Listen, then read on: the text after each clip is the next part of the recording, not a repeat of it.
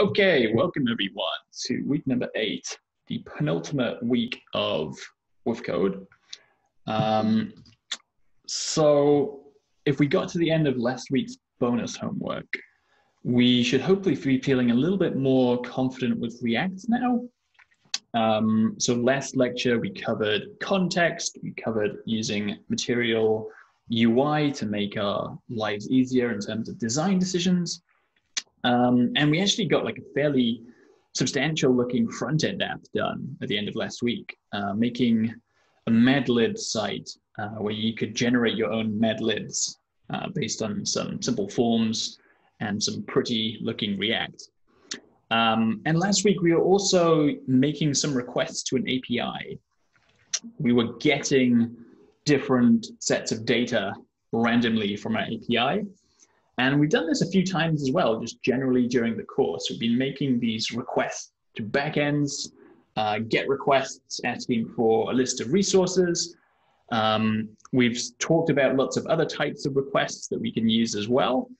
But that side of things so far has remained a mystery. So in this lecture, we'll be talking about the backend. We'll be introducing a library called Express, which is a JavaScript library that runs on Node that makes our lives easier setting up these servers. We'll be creating some routes. Uh, we'll be talking about middleware, and we'll also be talking about MongoDB, which is a database. So we'll have a little bit of an introduction to databases as well. So we might have heard of this word, the MERN stack, M-E-R-N. This is one of these kind of hot words that gets tossed around everywhere in job postings. You might hear people say, okay, we want someone specialized in the MERN stack, talking about uh, a stack in general is sort of a collection of technologies that a particular company, a particular application uses. And MERN stands for MongoDB, which is this database that we're learning about.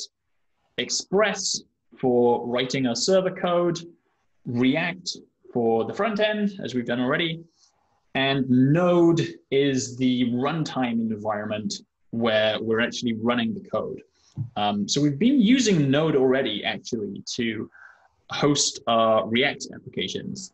Whenever we write npm start, that's using the, N, the Node package manager. Um, there's also a website called npm that we've been referring to quite often. Um, so that's all Node. Uh, our React server, when we when we get this sort of hot reload function where we can change something in our React code and something updates on the screen, that's all happening because Node is running a program in the background on our computer, which lets that happen. So uh, in general, with backend programming, I introduced these two these two doodles from a few weeks ago, just to sort of illustrate the concept. Um, we said that with a REST API, this is the sort of API that we're using. Um, REST stands for resourceful state transfer. Um, so we're sort of thinking about each thing that we store on our server as a resource. And with those resources, we have a few different actions that we can do with them. So uh, typically, we might have uh, one resource which is sort of like uh, one branch of a restaurant. Um, so this is this would be uh, the the domain, um, you know, mysite.com slash articles.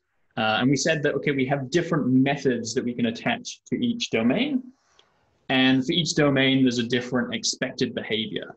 So you can think about it as there's a person behind the window who's uh, sort of stepping the drive-by, and by convention, these different methods should do different things.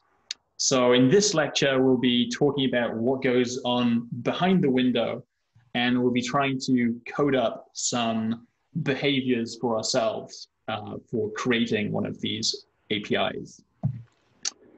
So as a quick recap, as a quick recap here, um, we talked about HTTP request methods.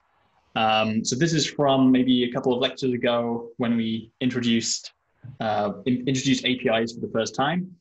Essentially, we have five different methods. We have get for grabbing something, uh, post for creating something, patch and put for updating something, slightly different between those two, and delete for deleting something.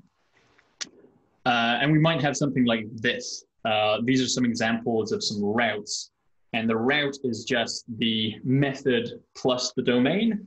So you can think about it as one particular window of one particular restaurant in a chain of restaurants that's serving up whichever resource we are selling.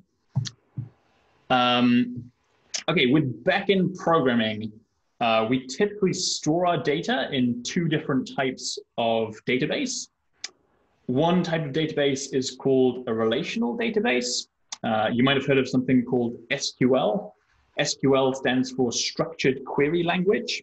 Uh, it's a special type of uh, special type of syntax for gathering things from a database. And typically, with a relational database, our data is in the form roughly of a spreadsheet. Uh, we might have a, a spreadsheet that tracks every user on an application.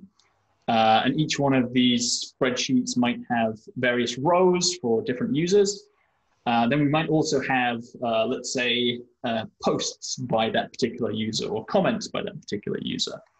So we have a comments table, which uh, maybe has like the user's name, the time that the user left that comment, um, the, uh, the message that the user left, for example. Um, and with a relational database, we typically have one sort of connector database in between, which simply maps from one database to another. Um, so this is sort of a really confusing way to set up a database, um, but sometimes this is quite effective. Uh, there's a little bit of an art to deciding what kind of database that you want to use in a given project. Um, typically with relational data, this works well when you have lots of uh, nodes in your data that are connected to many different types of resources. So for example, a really good, a really good example is something like Twitter, where uh, you have a table of users, you have a group of users, and we need to track relations between that user and hundreds of other users. Um, so we can tell, is this person following the other user? Is the other person following the other user in reverse? Um, the user might have uh, lots of posts that need to be tracked. Then the posts can have comments from other users. So there's lots of these sort of uh, overlapping entities that are interacting with each other. So in general, that's the sort of situation where it makes sense to have a relational database the other type of database that we'll talk about in this lecture is a non-relational database, otherwise called a NoSQL. So you have SQL and you have NoSQL. And an SQL database is essentially structured like a giant JSON document. So JSON, we talked about a few lectures ago, uh, stands for JavaScript Object Notation. And essentially it's just like a massive JavaScript object holding all the data that we could want. Um, and the pro of this is that it's so much easier to work with. Uh, you can simply add different fields onto this giant uh, JSON document. Essentially, you can edit things just like you are using a real object in your JavaScript. Uh, and you can just change, you can change whatever you're putting on each object at will. So whereas with relational databases, they have more of a script, uh, sort of a, a strict schema of what things belong to each type of entity. So a user always has to have an email address and a name and uh, a birthday, but we couldn't suddenly add something new onto it. With relational databases, you can really just add anything completely ad hoc, and you don't need to do a really complicated database migration to to do that. Um, you can just add anything onto the object and it's totally fine. Okay, so that's a little bit of background on uh, databases, uh, which we'll be covering towards the end of this lecture. Um, so next thing I want to talk about is Express. Um, we'll be talking about uh, why we need Express, what is Express. Uh, we'll be showing some demo code of how Express works. Um, and we'll be creating what's called a CRUD interface, uh, which we'll need to set up for pretty much any backend that we want to create. So Express, it's a JavaScript library, just like React, just like React Router, just like uh, pretty much everything we've been using the last two lectures. Um, it's a set of functions, a set of black boxes that we can tap into whenever we want, um, which are all hosted for free online. Express runs using Node.js, which is a special set of technologies that allow us to run JavaScript that can interact with our file system, um, which we're using already for React, as I mentioned before. Express is a really popular framework. Uh, loads of companies are using the MERN stack now. Um, you might have also heard of something called the Mean stack, M-E-A-N.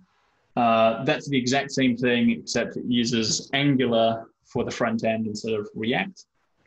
Um, and it's also quite simple. Uh, there isn't too much to know with Express. So I think we'll probably cover maybe 70, 80% of everything that there is to know about Express in this lecture. Um, and then finally, it's actually really fast. Um, there's a comparison done fairly recently between uh, Ruby on Rails, which is one of the fastest, uh, one of the most popular, at least, backend uh, backend frameworks or full stack frameworks that people used to use quite a lot, uh, maybe like ten or so years, years ago. So Twitter was made originally with Ruby on Rails. Um, what else? Uh, Airbnb, I think, was made with Ruby on Rails. Uh, like a bunch of these startups uh, all came, uh, all originally were made with Ruby on Rails. Um, and they did some comparisons between Ruby on Rails and JavaScript recently. Um, Google sort of invested lots of money into trying to make JavaScript as quick as possible. And um, I think I think that I think that the, the JavaScript engine, uh, which Express used, ended up being, I think, 10 or 20 times faster than Ruby for making a backend, which is super impressive. Um, so that's just a little bit of uh, bit of a sales pitch on why we're choosing Express, why we want to use Express. Uh, there's also the huge benefit that everything is still written in JavaScript. So the skills that we've been learning for the last four or five weeks uh, will totally transfer onto becoming a backend developer uh, as well as a front-end developer. So to set up Express for the first time, uh, we can use the npm command. So this is the node package manager. We've been using this a little bit with React already. Um, and the deal is we can just use uh, the command npm init and using a name of a folder that will create a new folder, which is a new node project. Um, that will come with a package.json file, which will make our lives easier, which will allow us to install more things. Um, and then we can use the command npm install express, which will download all of the dependencies uh, which are required to run Express and will allow us to use these files inside of our code. Um, by default, when we run this first command, we also get a file called index.js, which we can use to put our, our code inside of, essentially. Um, one problem with this is that we have to refresh this server every single time we make a change, which can get quite annoying. Uh, we have to sort of restart the server and start it again every time something changes. So there's a package called nodemon, uh, which you can install globally on your machine, which will sort of just recurrently start doing, start reloading like a hot reload feature. Whenever something changes, it will stop the server and, and restart again. Uh, uh, one small thing with Express, uh, we still have to use this old-fashioned require syntax with Express. Uh, even though ES6 came out, I think like five years ago or so, uh, Node.js doesn't support the new import-export syntax. So the new syntax looks something like this. Um, we can define an export on a particular file with module module exports. I think there's actually there actually might be a spelling error here. Um, I need to check this later on. Um, and as long as we've exported something from one file, we can then require it from another file, and we can store the result of this in a variable. Um, so in this case, we had a constant called name, which we define in otherfile.js. And then in index.js, we can require that file using a relative path. And if we store that in a variable, then it's, it's basically the same as us having that variable in the other file. So every Express application will look something like this. We always pretty much have this exact same setup. Uh, we just simply need to re uh, require the Express library, uh, which is available to us because uh, we installed it in our package.json file. Um, we need to initialize the Express server uh, just by calling this Express function. Generally, uh, we store this in a variable called app.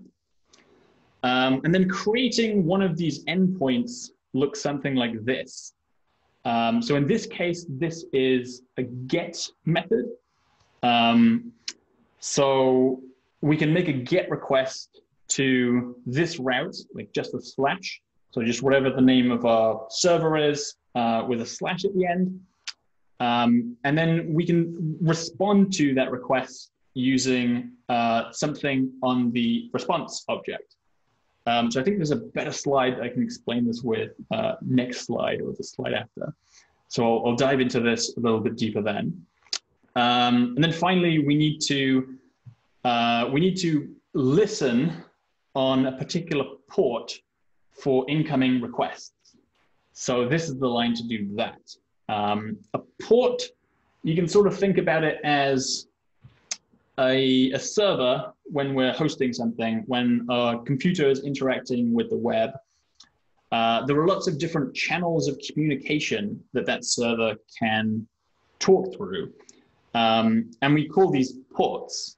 So we can have different processes acting on different ports, and we can essentially just create any of these ports that we want. We can create any number in here, and it will give us like a new channel of communication that we can uh, interact with the outside world with. So in terms of this uh, this get code that we just uh, we just went through here, uh, there are a few different uh, little little things to to know about here. Um, the first thing, the type of method that we're using is the HTTP method that we want to use. So it's the kind of uh, the kind of window on our restaurant that we want to set up some functionality for. The first method is the path. So that is the string of digits, string of characters that need to be typed in uh, when we're sort of searching for our server, when we're making that request um, to get us to that particular address. So that's like sort of like the the address of the restaurant in our restaurant chain where we want to head to. Uh, and then we have this callback function as the second argument, which we're going to fire this function every time we see a request to this particular route. Um, and this callback function takes two arguments. The first argument here is what's called the request object. So this gives us lots of meta information about the type of request that we got. Uh, if there's any if there's any extra details that we need to complete the request, like if there's uh, an object that, that got uh, added in that we want to create a record for, or if uh, we're looking for a particular ID of whatever resource we're using, then we can find that on this request object.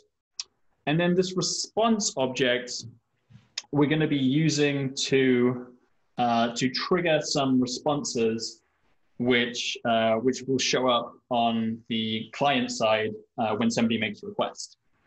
Um, and then finally, we have this, this code that we're actually going to be running every time somebody makes a request to this particular route.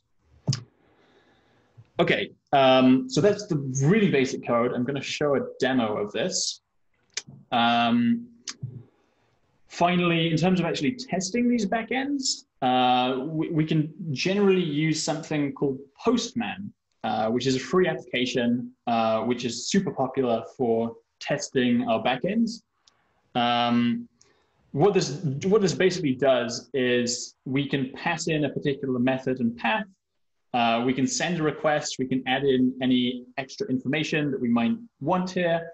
Um, and down below, we can see the response that we got back from the server. So after quite a bit of um, sort of introductory talk, uh, I want to just sort of go through a few steps of really quickly setting up one of these servers so we can see this sort of request response thing working out. So, okay, so from my home directory here, um, I'm going to change into the to the code files. Yes, the uh, directory that I usually use for um, doing stuff here on um, on my computer, and I'm going to use the npm init command with just a dummy folder name. We'll just call it uh, demo-express. Okay, so what this is doing is, oh no. Okay, this doesn't seem to be working. Hmm. Da, da, da, it's not a, hmm. Ah, hang on, wait a minute. Okay, uh, let's try this again. Let's say we'll make a directory called demo react We'll change into that directory, demo react. Uh, and then we'll just say npm init. This should work. Okay, yeah. Um, so here it's asking for uh, a package name, so we can just give this anything, demo react works. Uh, version number, we can just go with 1.0.0. We don't really need description. I'm just gonna sort of enter through all of this, uh, this sort of setup information. And uh, now if I go ls to show what's here, we can see that we have this package.json file. Um, I'm going to open up my code editor here. So we can say code and then a dot. And okay, so we can see this package.json that got uh, created for us. Um, and we can see just like React, we have a list of scripts that we can use. Um, this main property here is the default entry point for application. So we're expecting to see a file called index.js where all of our code will live.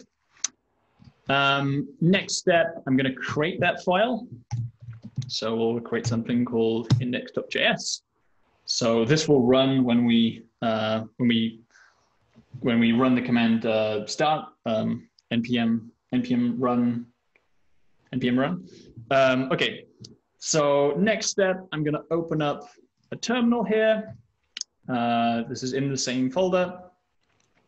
And I want to install uh, Express.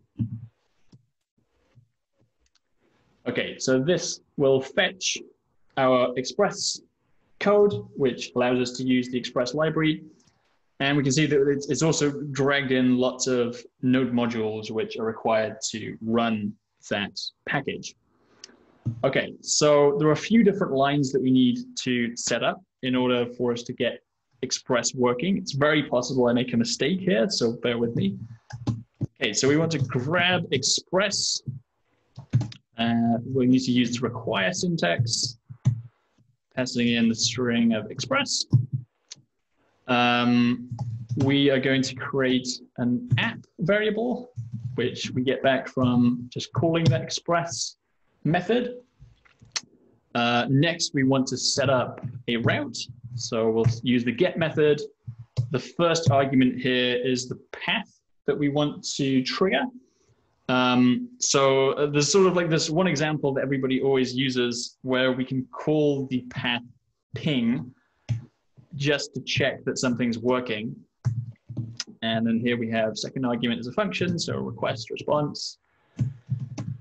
Uh, and as a response, we'll just say res.send pong.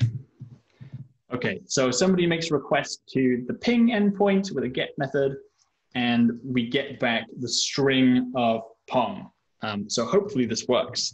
Uh, the last thing that we need to do is app.listen, passing in a port number. Um, so commonly for backends, we just default to the port of 5000. Uh, but I've also seen 3001, 3003, 8000. Um, there's not really a strong convention there, but this is just something quite easy. Okay, so this is pretty much all of the code that we need to set up our Express server just for this one route. Uh, the next step is to run node index, oh, node index.js. And hopefully this will start up our server and we'll be, be able to make a request to it. Uh, maybe that's, is that running? Maybe that's running. Okay, hopefully this is running. So, okay, so I want to make a get, get request to localhost 5000 slash ping. Okay, and hopefully this just works. Hey, yes, that worked. So we get back this responsive pong. So that's what we're expecting. We made a request to ping, a get request, and we got back this text pong. Um, another thing that might be useful to do here is just to log out this request variable, just to see what we get back, just to get a flavor of what exactly we are, we are requesting. Um, so again, I'll just do the same thing again, uh, making another request. Uh, that didn't work because I need to restart the server. Um, I could be using NodeMon, but that takes a little bit extra time to set up. So I'll just, for now, just use the regular uh, node method and restart. So second time doing this, um, we get back the log in the terminal window. So this might be a little bit weird based on uh, what we used to with React and what we used to with JavaScript, where we can check our logs um, in the browser window. Um, but yeah, when we make a, a, log with Node.js, we actually pops up here in the in the terminal. Um, so lots of meta information about the request that we just made here. Um, what could be a useful thing to check out here? There should be some information on the time and date when this request was made. Uh, okay, so this is, let's see what's useful. Here we go, headers. Okay, so headers is sort of like the meta information about the request. Um, this is the sort of the user agent. So this is where the request is coming from. Um, so usually this would be something like uh, the browser that you're using, for example, or the operating system that you're using. Uh, the host, that's where uh, the server's been hosted, is localhost 5000. If this was a real application, then it would be something like api.mysite.com. Um,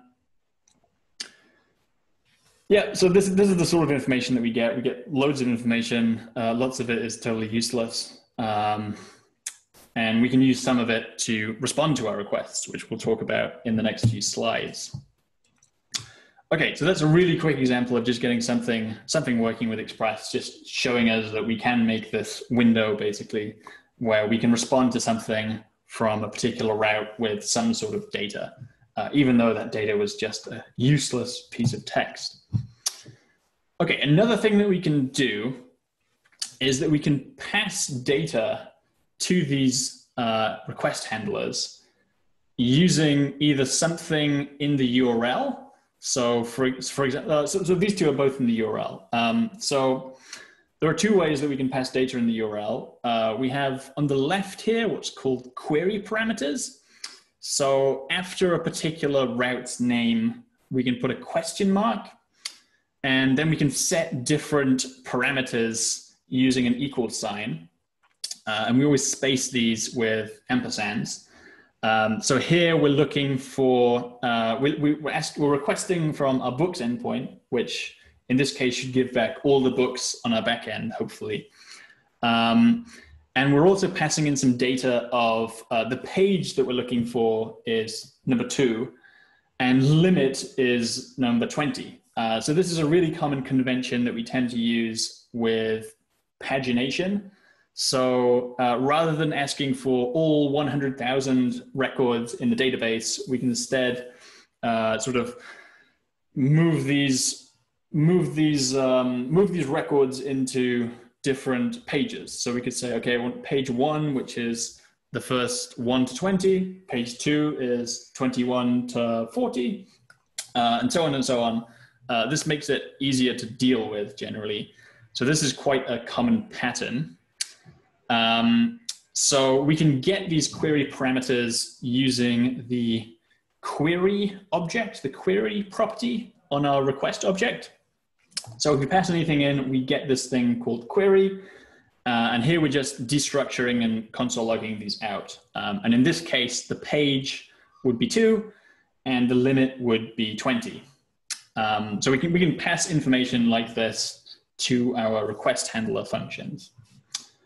Um, another thing that we can do is we can use path parameters, which uh, path parameter is something like this.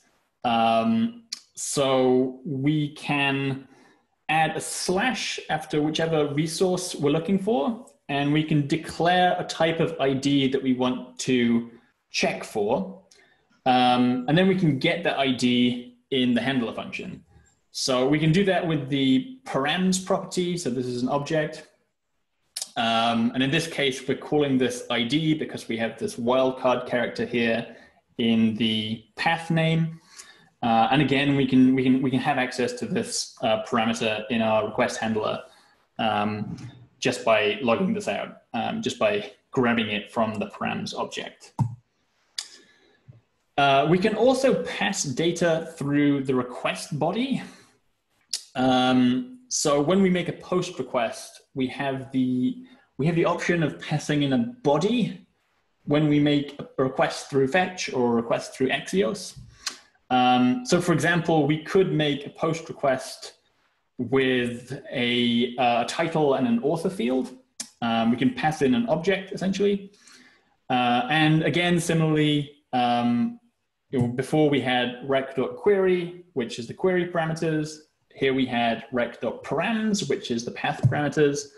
Uh, and we can get any data that we're passing in through the request body using the body parameter. Okay, so uh, another thing about APIs, um, there's something very common called a CRUD interface. Uh, which is pretty much defines how we want to interact with pretty much all of our resources that we're creating with our REST API. Um, so CRUD stands for create, read, update, and destroy. And basically, we want to be able to enable all of these actions on all of our resources uh, most of the time. So being able to create something, read something, update something, and destroy something pretty much allows us to model that resource in our backend and uh, and uh, allows for some interoperability between our front end and other backends uh, to make this as easy as possible. Um, creating a resource is as simple as setting up a, a post method. Reading is as simple as setting up a get method. Updating respond, it corresponds to the patch or put methods. Um, we can handle this differently in different uh, interfaces. And then destroying, we can use the delete method. So usually we'll have something like this uh, for each one of the resources that we want to create on a server. Um, we'll sort of demark, okay, this is creating, this is reading. Um, typically we'll want something that allows us to read all of a resource or just one of a resource.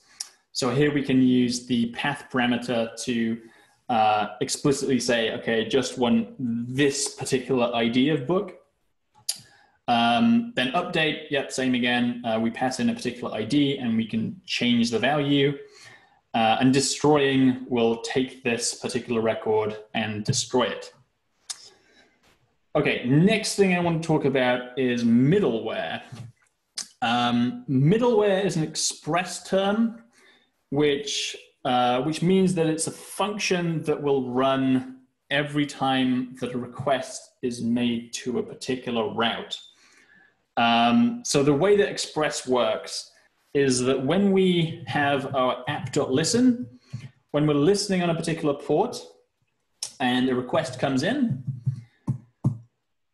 that request will pass through a range of different functions before it finally gets to our request handler and we can finally respond to it. Um, the deal with each of these middleware functions is that they look almost identical to our request handlers. Uh, we get the request object that originally came through. we get the response object, which allows us to respond if we want to. And we also get a function called next, which if we call this next method, this will move on to the next middleware function in the chain. Um, so you see, it's possible for us to immediately quit from uh, one of these middlewares. Um, so for example, one of these middlewares could be checking if a user's logged in. Uh, so a user wants to see all of the blog posts on the website, um, but it doesn't, he doesn't, uh, they haven't been uh, logged in already. Um, so maybe there's one piece of middleware that's checking if the user's logged in. And if the user's not logged in, if we can detect that, then we can immediately quit out of that middleware function and send back some kind of error uh, saying user has to be logged in, for example. Um, so we define a middleware function which looks almost identical to the request handler. And we can attach that to our Express instance using the use method. Um, so it's as simple as saying, okay, there's going to be one, um, one argument to this function, and uh, we just pass in a request handler, fun uh, middleware function, which looks almost identical to a request handler. Um, we can also just add a middleware function to one particular route, um, in which case it looks something like this. So typically when we just had uh, one request handler that we were defining for one particular route, we just had two arguments here, but we can pass in another middleware function in the middle of these arguments, and this will only add that middleware function to this particular path. Um, so whereas with app.use, uh, every single route that we define, if we define a whole CRUD interface, then we'll run that middleware function before it hits each of these routes. In this case, we're just, we're just using that middleware function on the home route, on the slash route. Um, so I have a couple of examples of different types of middleware that come up a lot in JavaScript, that come up a lot in Express, um, that are good to know about. Um, one of these middleware functions we get from Express, and it's called the router method. It's called the Express router.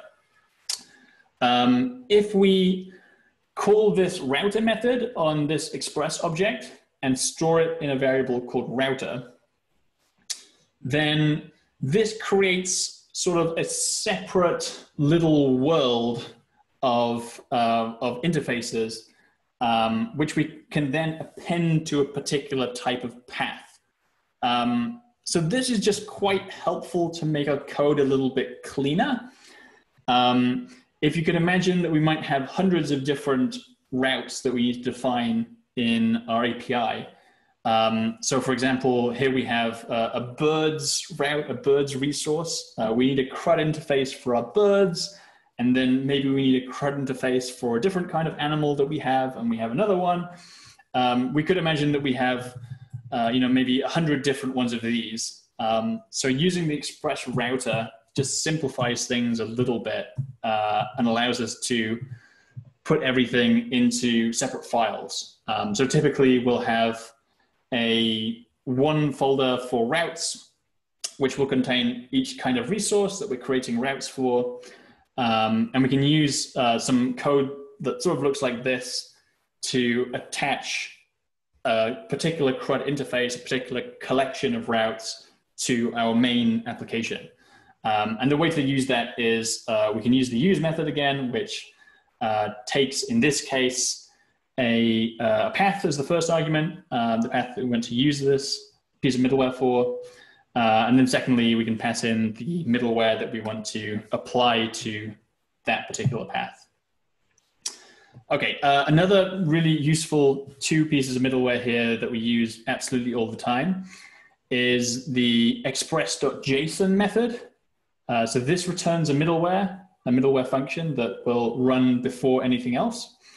Um, the express.json method allows our routes to understand and pass JSON data. So that's relevant because when we're passing in uh, a, an object using a post method, uh, this object is sort of transmitted using uh, the JSON format.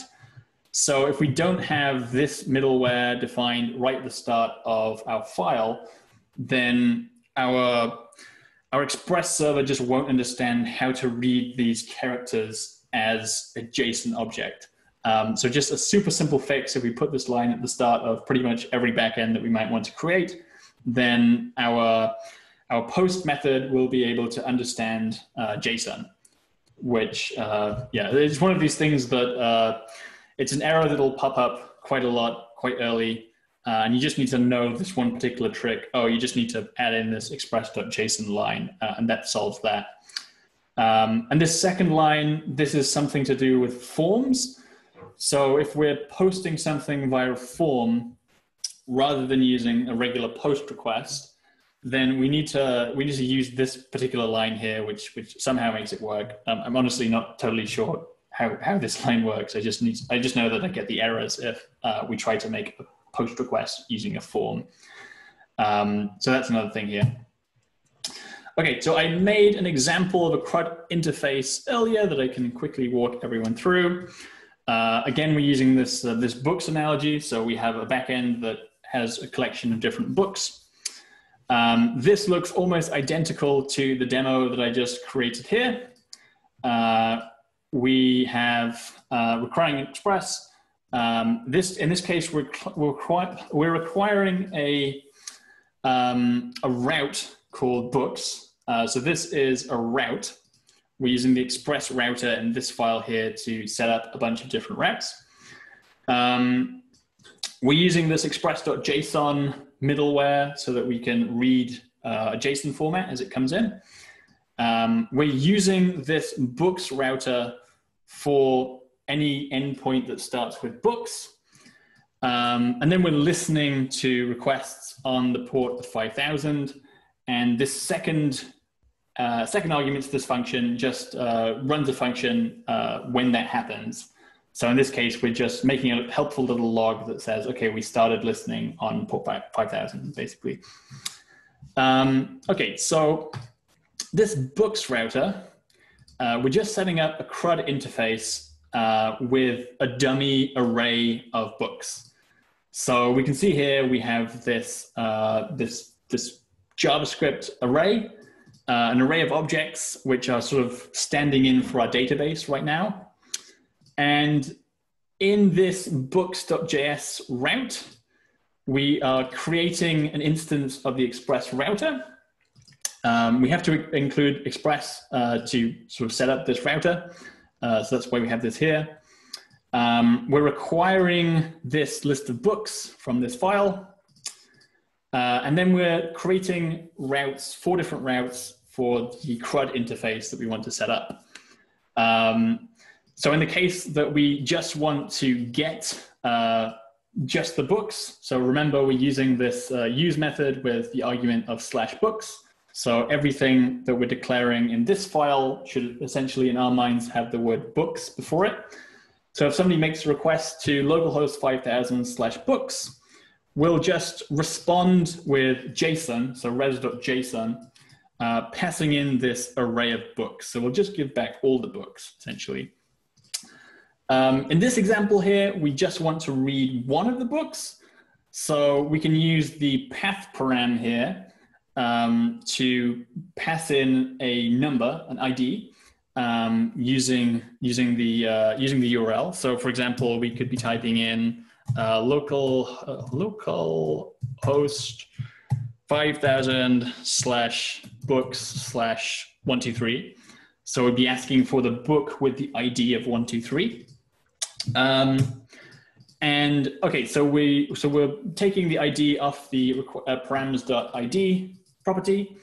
Um, then this function is finding the book in our list that matches that ID. So we have IDs starting at one, two, three.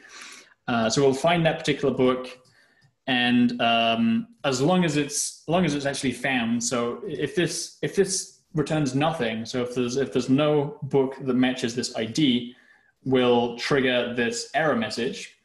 Um, otherwise, we'll just return that particular book.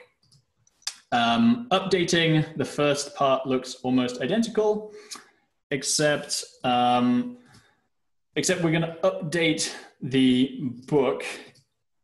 This particular book, we want to change the title of that book to whatever we're passing in in the title property of our body parameters.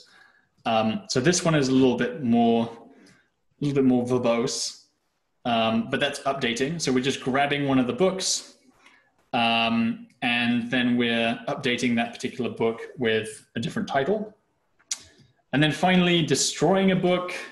We're again, we're looking for the particular book. If it's not found, we're giving an error. And then we're updating this list of books uh, using a filter to only return books that don't match this particular ID that we're passing in. so this is an implementation of a backend which just uses a, an array of data. Um, in practice, we, we want to store our, our data in something more useful than this. So that's why we need a database. Um, so the last section of this lecture that I want to talk about today is databases, how we set up a database using Express um, we'll be introducing MongoDB, which is a really common database provider for React, um, which uses uh, a NoSQL database type. Okay. So first off, MongoDB um, is NoSQL, so that means that everything is structured as an object. Um, it's pretty quick. Um, it's pretty easy to use relative to SQL.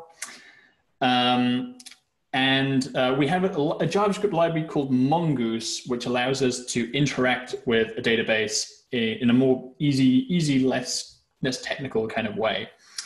Um, in MongoDB, we have this uh, we have this sort of special language which can be kind of confusing. Um, there are two terms that are sort of important to know about.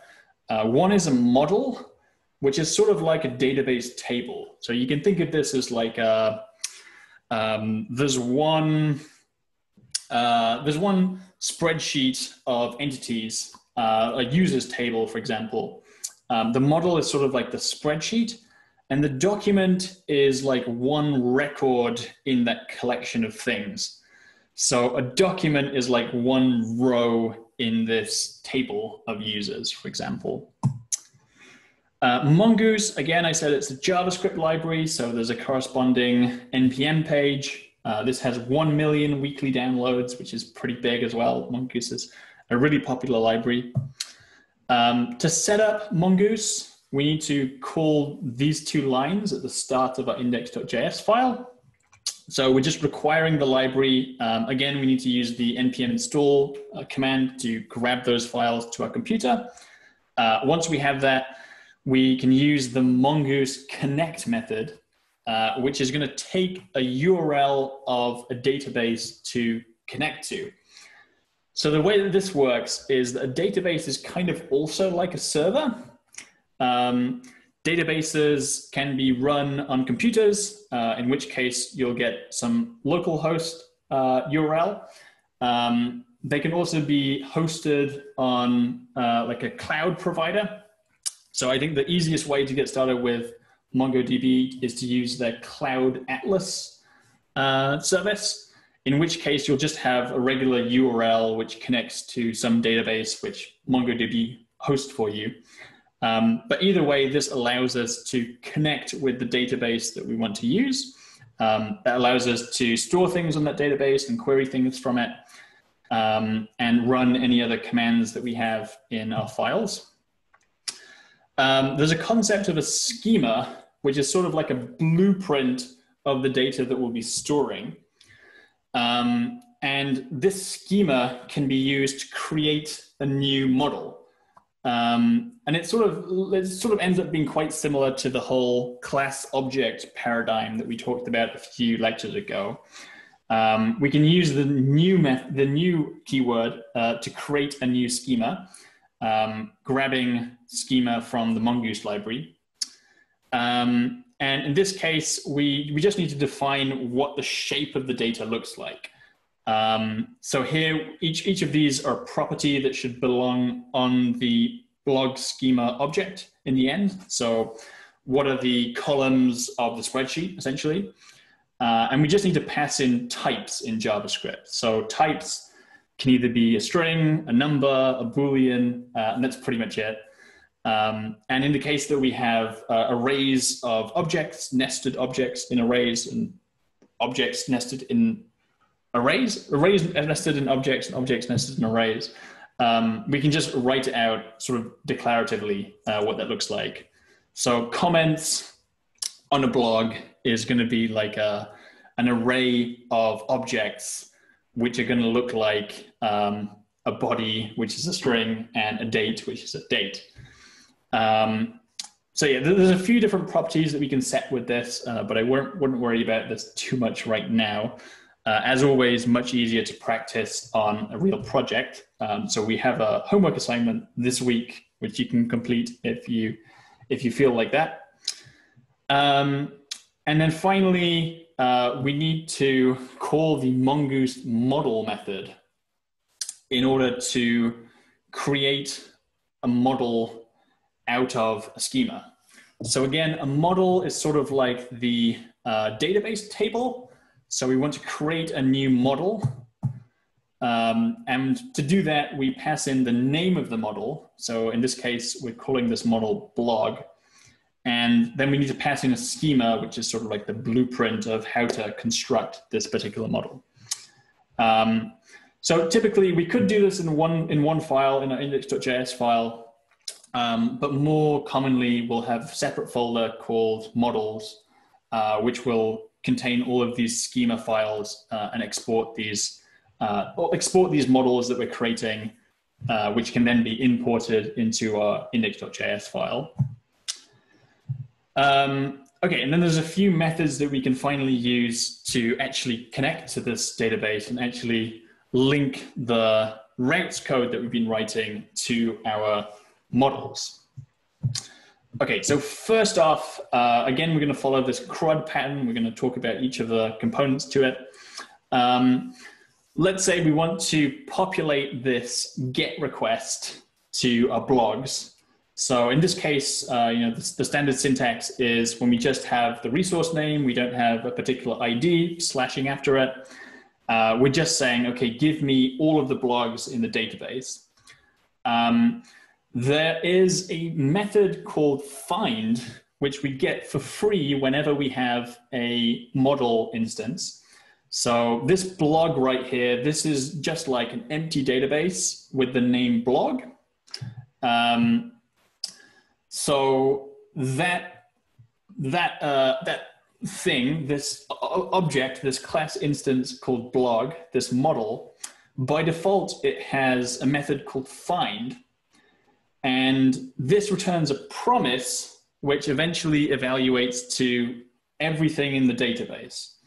Um, it turns out we can also pass in a argument to this to sort of say, okay, only find models with such and such a parameter in such and such a place. Um, but the simplest, the simplest thing to do, okay, just grab all of the models, uh, grab all of the documents in the model rather. Um, this will just return a list of all the blogs that have been added to uh, our model. Um, so this will eventually return an array and that array we can then respond in a JSON format, passing that back. And that will give us an output if we make a request on the client that looks almost identical to the output that we got from our dummy APIs in the last few homeworks, if we got that far. Okay, so that's how we generate uh, an array response of objects representing something that actually exists already in our database. Um, creating new documents, we have the model.create method. So we have access to this thing called blog. We can call the create method, and this just takes an object with um, all of the initial values that we want to set it with. So in this case, we can pass in a title, author, body, comment, blah, blah, blah, blah, and that will create a new one of these blogs. Uh, and this will just add it to our model. So we'll get basically a new line in our database um, uh, corresponding to the one that we just created. Um, so typically we might have a body, a request body, so like an object full of data that we're trying to pass along with this request. And we'll simply use that request body to um, create a new blog using the data that somebody provided. Um, and by convention, we'll also respond with the new object that we created. Um, so this again returns a promise. Uh, it takes some amount of time for us to correspond with database and pass in this new value. The database responds, this, this await uh, promise eventually evaluate to the new record that just got created. And by convention, we also just respond to the request using this newly created, uh, newly created resource. Okay, so that's creating, that's CR, CRA. Um, finding a specific record, so with reading data from the backend, um, typically we'll also want to be able to pass in a particular ID and say, okay, give me this particular record in the backend. Um, so we're using a path parameter here. We have this wildcard for ID. Um, we can get that within the request handler using req.params.id. We've seen this before a few slides ago. Uh, and we can use the find by ID method, which will specifically grab whichever, whichever item in our database that has the ID um, field that matches this particular, uh, this particular ID that we're passing in. Um, the ID method that actually just reminded me, it, we, we get the ID method generated automatically by Mongoose. So in this case, this ID will be like a really long string of characters and numbers. Um, and again, once we've actually found a resource, we tend to uh, respond with that resource uh, just by convention. Um, in this example, we're actually also handling the error case. So if we pass in uh, an ID that doesn't match something that we can find in the database, then uh, this promise will, will reject. Um, we won't be able to find that uh, this particular blog post on the back end. So instead, we're going to respond with res.status 404.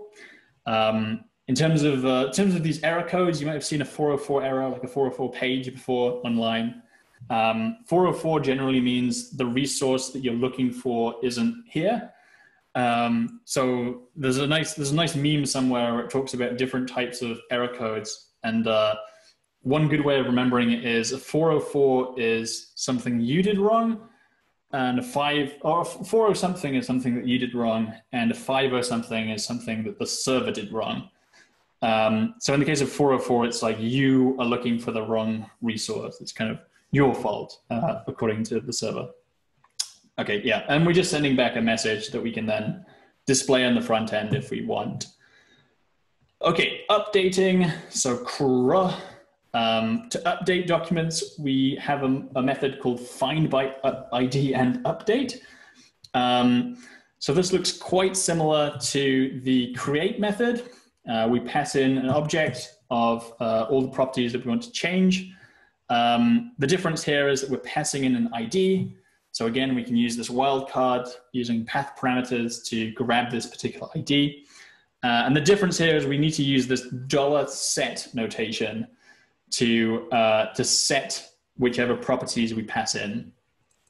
Um, so this set notation, this is something to do with the MongoDB query syntax. Uh, this is kind of a whole nother, another kettle of fish that we could jump into um, using the Mongo query language.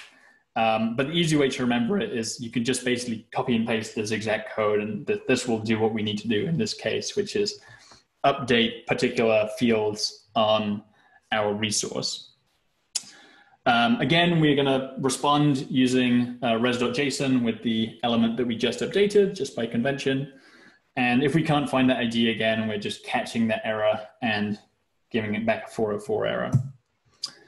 Uh, then finally, for deleting, we have the find by ID and remove method.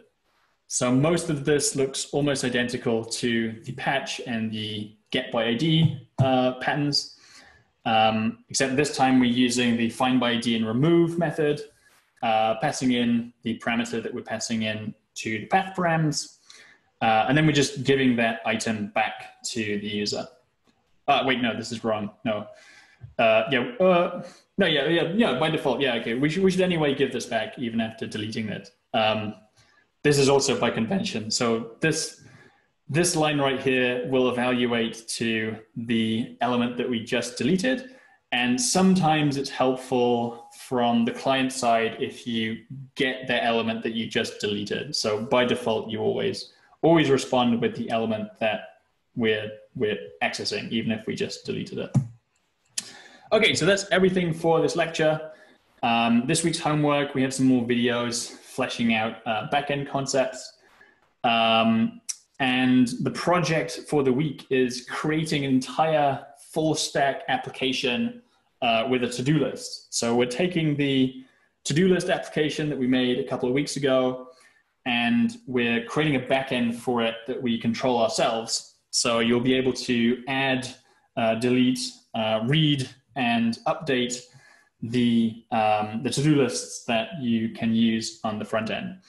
Um, so yeah, finally tying everything together to get a holistic approach to web development, and hopefully you'll you'll have learned something about both front end and back end in this course. So that's everything for today. Uh, as usual, homework is due by next lecture, and next lecture will just be summing up everything that we covered in the course.